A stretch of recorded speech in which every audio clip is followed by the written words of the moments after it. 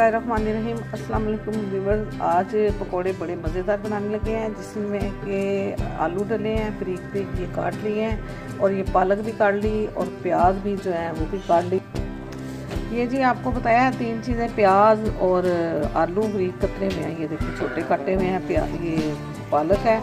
इसमें हमने ज़ीरा डाल दिया है, थोड़ा सा भुना हुआ, और सूखा धनिया डाला है। और कुटी मिर्च डाली है और नमक डाला है हंसपे ज़रूर डाल लें हम नमक। और ये सारी चीज़ें इस तरह थोड़ा सा चाट मसाला भी मेरा ख्याल डाल दिया और ये जी इसके अंदर ऐसे बेसन डालना है। बेसन ऐड कर दें, चीज़ें सारी कटने, काटने के बाद।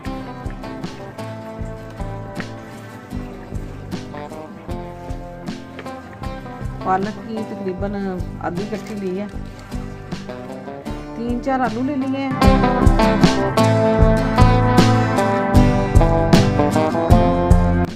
ये भी हमने बेसन डाल के अभी इसे छोड़ दिया थोड़ी देर के लिए।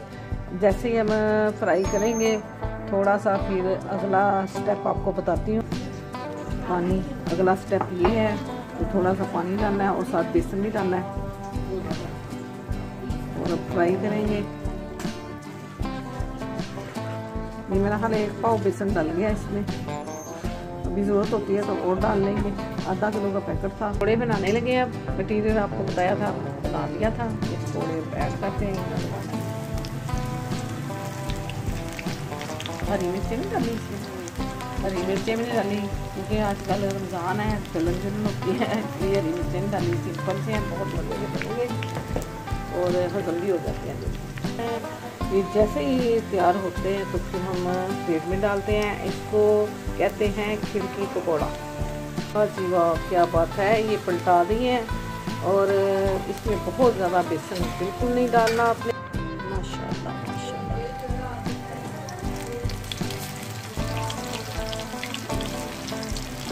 इसका डालने का तरीका ये है कि ज़्यादा सारा पकड़ लेना मटीरियल और ऐसे तरह इतना करके डालना एक जगह पे नहीं रखना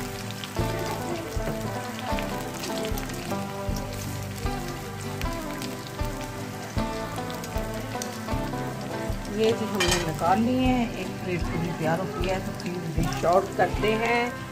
इंशाल्लाह मैं उम्मीद करती हूँ कि आप पसंद करें। चलें जी, आप चैनल को लाइक करिएगा, शेयर करिएगा और सब्सक्राइब करिएगा। अपनी दुआ में ज़रूर याद रखिएगा। इन शाला नेक्स्ट वीडियो में फिर हाज़िर होते हैं, अल्लाह हाफिज़।